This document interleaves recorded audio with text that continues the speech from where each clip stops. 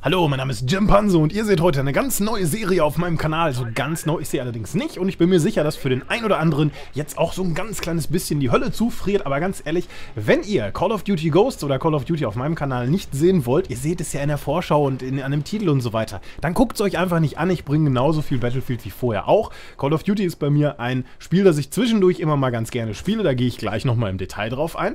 Und ähm, Battlefield wird und ist und wird auch in Zukunft nach wie vor meine Nummer 1 bleiben. Also, das hier ist die neue Serie, beziehungsweise eine leicht angepasste Serie, die es bei mir schon gibt.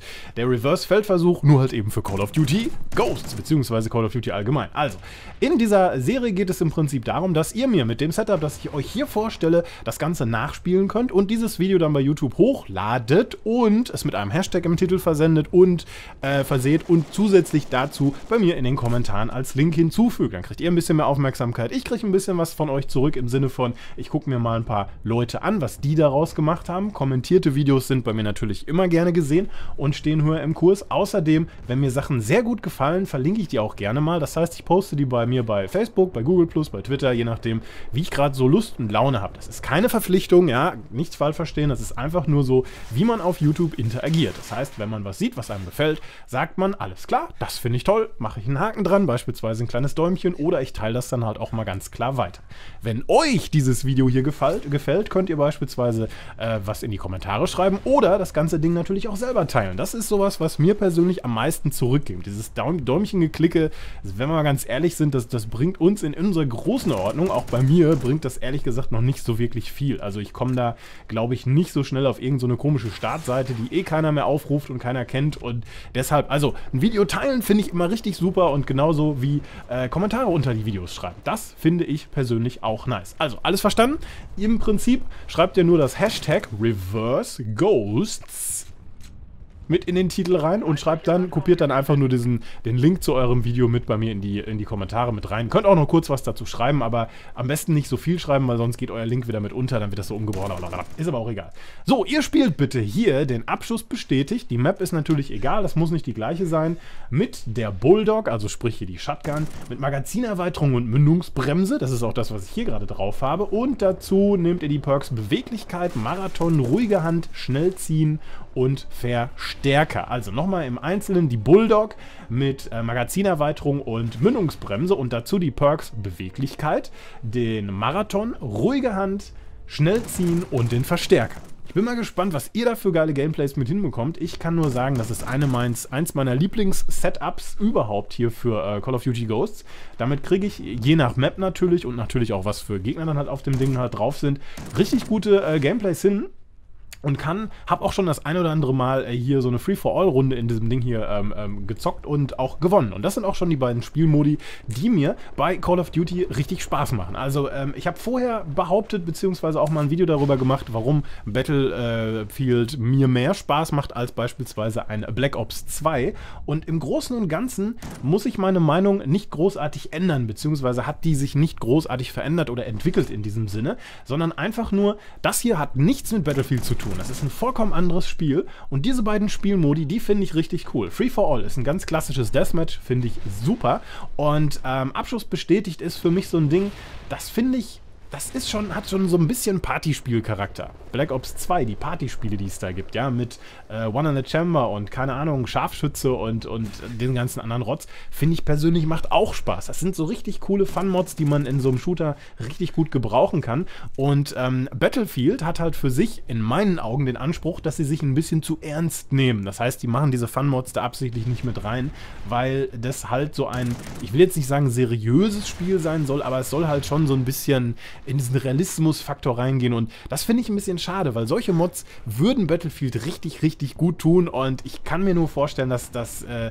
wenn, selbst wenn es das nur als DLC geben würde und man gar nicht genötigt ist, das automatisch mit runterzuladen bzw. zu kriegen, ja, ich würde es mir holen. Das wäre eine richtig coole Alternative zu dem normalen Team Deathmatch und äh, Domination-Modus, den wir alle schon kennen und auch hoch und runter spielen. Aber wir wollen heute hier nicht über Battlefield sprechen. Das hier ist natürlich ein Call of Duty-Video und da möchte ich gar nicht so auf Battlefield Battlefield, Battlefield, Battlefield, Battlefield, Battlefield, Battlefield sagen, weil ich ja weiß, dass der eine oder andere damit vielleicht auch ein kleines Problem haben könnte. Also, Call of Duty Ghosts. Ich bin hier unterwegs und ähm, das ist nicht mein bestes Gameplay. Ich habe bei Commander Krieger noch in den nächsten Tagen das ein oder andere äh, Video ähm, in der Warteschleife. Das wird in den nächsten paar Tagen hochgeladen. Da schneide ich deutlich besser. Ich habe jetzt hier mal absichtlich ein nicht so gutes rausgesucht, beziehungsweise wollte das hier auch mal veröffentlichen, weil ich finde, dass man muss nicht immer so die besten Dinger zeigen. Das, das, äh, dann sieht das irgendwie so ein bisschen so aus, als ob man einen völlig anderen Skill irgendwie hat, beziehungsweise so tut, als ob man irgendwie besser wäre. Und das bin ich einfach nicht. Ich bin ein Spaßspieler. Ich bin ein Spieler, der, der einfach nur Freude daran hat, wenn mal was gut funktioniert. Aber ich definiere mich jetzt nicht über meinen Skill, den ich in einem Spiel habe. Ja? Wenn mal was gut klappt, kann man damit ein bisschen angeben. Aber Leute, die permanent mit ihren Skills irgendwie angeben oder wie schlecht andere Leute dann beispielsweise sind, das geht mir persönlich so ein bisschen auf die Eier. Und das ist bei mir bei Battlefield genauso wie bei Call of Duty. Also wenn ich gegen Leute spiele, die äh, permanent gewinnen, dann suche ich mir natürlich eine andere Lobby oder bei Battlefield einen anderen Server. Und das finde ich ist auch gar nicht verwerflich. Aber ich bin keiner, der die Runden groß, äh, größtenteils vorzeitig beendet. Ich weiß, das machen viele von euch natürlich auch und es ist auch legitim. Ich mache sowas nicht, wenn ich so eine Runde hier Free for All oder Abschluss bestätigt angefangen habe.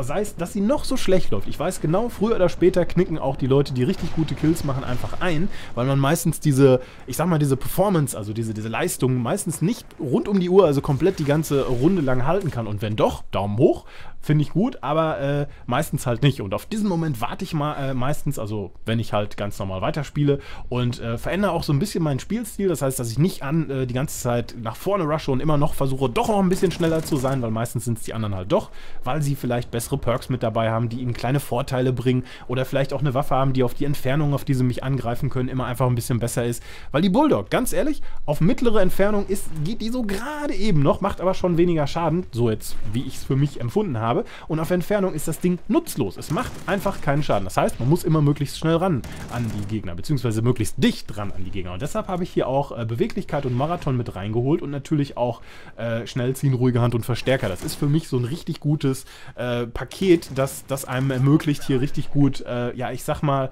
auf die Gegner einzugehen. Ich weiß, hier gibt es natürlich noch Leute, die jetzt mir sagen, pass auf, spiel bitte dieses Perk und das ist Finde ich auch gut. Schreibt mir das bitte in die Kommentare, was ihr ändern wollen würdet. Also welches Perk ist jetzt für meinen Stil, den ihr hier gerade seht, also Run and Gun, einfach nur äh, besser geeignet. Hier fehlt mir beispielsweise noch der Plünderer. Ja? Das wäre noch so ein Ding, das hätte ich mir hier noch gewünscht. Das fände ich persönlich auch cooler, wenn das hier noch mit drin ist. Habe ich nicht dabei, kann ich auch nicht mit dabei nehmen, außer ich verzichte hier noch auf diese äh, Killstreaks. Und bei den Killstreaks weiß ich gar nicht. Ich glaube, ich habe den Hund, das Geschütz und irgendwas anderes, was ich hier in dieser Runde auch gar nicht erreicht habe, mit, mit irgendwie mit drin. Ist für mich nicht wirklich wichtig. Ähm, weil äh, ich bin jemand, der sich, der weniger Spaß an diesen, an diesen Killstreaks halt irgendwie hat. Wenn man sie mal erreicht, ist das ganz cool. Aber im Großteil spiele ich diese Spiele natürlich, also die Shooter natürlich, um äh, als Shooter im First-Person-Shooter-Bereich da richtig Gas zu geben. Und da brauche ich im Prinzip diese, diese overpowerten Killstreaks nicht. Wobei ich sagen muss, bei Call of Duty Ghosts finde ich die Killstreaks bei weitem nicht so overpowered, wie es in Black Ops 2 der Fall ist. So Loadstar und diesen ganzen anderen Rotz, ja. Hier gibt es natürlich auch starke Killstreaks, muss man sich keine Illusionen machen, aber im Großen und Ganzen finde ich es hier schon ein bisschen besser. Schlechter finde ich allerdings, und das ist jetzt noch eine leichte Kritik an Call of Duty Ghosts, dass man hier so wahnsinnig schnell stirbt. Wenn man nicht richtig aufpasst und wenn man nur ein bisschen getroffen wird, ja, also bei den meisten Situationen kippt man einfach um und das finde ich persönlich nicht so gut. Aber gut, das ist halt die äh, Art und Weise, wie dieses Spiel funktioniert, also wie Call of Duty Ghosts rausgebracht wurde und ich glaube, äh, da muss auch nichts genervt, gepatcht oder irgendwas verändert werden. So ist einfach das Spiel. Wenn ich was anderes spielen will, dann spiele ich was anderes. Und ich finde diese Jammerei, egal ob es Call of Duty oder Battlefield ist, auch immer so ein bisschen am Thema vorbei. Ja, ganz ehrlich, wenn ich weiß, dass eine Waffe scheiße ist oder ich mit der Waffe nicht umgehen kann, dann weine ich doch nicht irgendwie so laut beim, beim äh, Entwickler und sage, äh, ich möchte aber, dass die Waffe besser funktioniert. Dann äh, nehme ich einfach eine andere oder gewöhne mich an diese Waffe mit bei. Natürlich gibt es manche Geschichten in Battlefield und natürlich auch in Call of Duty, wo da muss man dann ganz klar sagen, die ist vielleicht ein bisschen so stark, aber dann ist das nun mal so. Fertig aus Ende.